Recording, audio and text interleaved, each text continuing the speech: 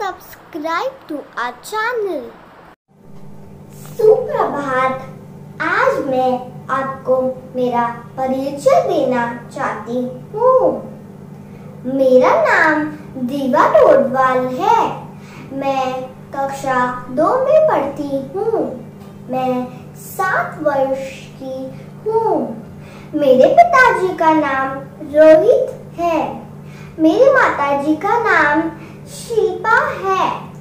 मैं भारतीय विद्यालय में पढ़ती हूँ। मुझे किताबें पढ़ना बहुत पसंद है। मेरा सबसे प्रिय रंग गुलाबी है। मैं बड़े होकर डॉक्टर बनना चाहती हूँ।